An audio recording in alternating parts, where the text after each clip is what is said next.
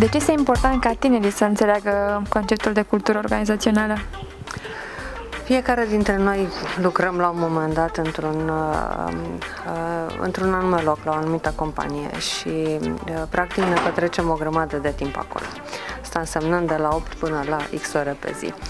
Trăiești într-un mediu uh, în care trebuie să te simți bine așa cum te simți bine și acasă, trebuie să te simți bine și la birou și să ai senzați, sentimentul de fapt că este, ești împlinit. Uh, orice fel de mediu organizațional este uh, caracterizat prin cultură, uh, e vorba de valori și ca urmare, din punctul meu de vedere, este ceea ce aș recomanda oricărui tânăr, este să încerce să vadă în ce măsură propriile valori, propriile credințe se suprapun sau nu peste locul, uh, uh, peste valorile locului în care uh, el se duce. Altfel, pentru că sunt lucruri atât de profunde, pot să, um, disjuncția între cele două pot să ducă la, la conflicte um, personale sau cu mediul organizațional destul de, de puternice. Cine duce valorile într-o companie? Um, E greu de spus. Um, valorile sunt, um, cum spuneam, sunt credințe, sunt tradiții, valorile. Uh, cultura e bazată pe, pe valori, pe credință, pe tradiții. În mod cert, fondatorii au un cuvânt de spus, pentru că nu gândesc numai un business, ei transmit ceva și din propria persoană și din propriile valori. Apoi sunt oamenii care vin.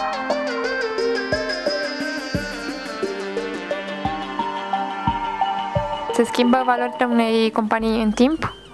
Depinde de momentul de dezvoltare al companiei. Uh, acum nu am făcut parte dintr-o companie chiar la început de drum și bănuiesc că așa cum sunt o soi de cicluri și uh, se formează ca și business, ca și uh, oameni și cultura se formează.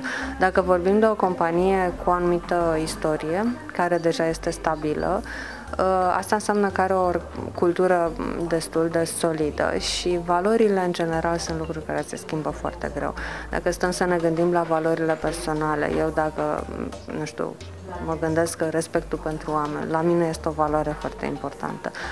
Ea nu se poate schimba. Mă mai supăr eu din când în când pe stradă sau lucruri de genul ăsta, dar nu se poate schimba. E, e exact fundamentul.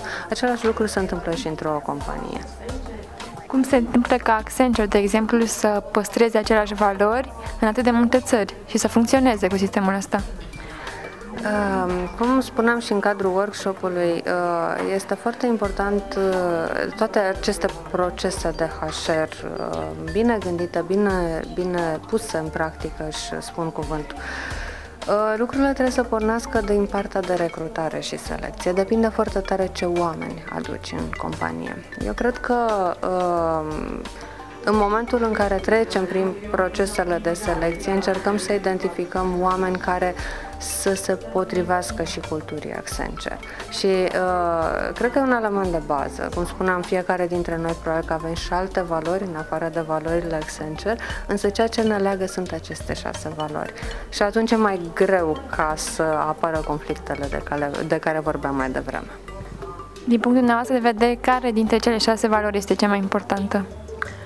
Pentru mine sunt importante toate și ele se și leagă. Uh, nu cred că aș putea să vin să spun că respectul pentru oameni este mai puțin important decât integritate. Dacă este o valoare la care țin foarte mult ca persoană, pe care o iubesc, dar nu înseamnă că este mai importantă, este partea de, de integritate sau de etică. Uh, asta pentru că este alb-negru, ori ești etic, ori nu ești etic. Uh, și eu personal cred foarte, foarte tare în ea. Dar în rest, celelalte, toate de fapt valorile sunt, sunt pe același palier.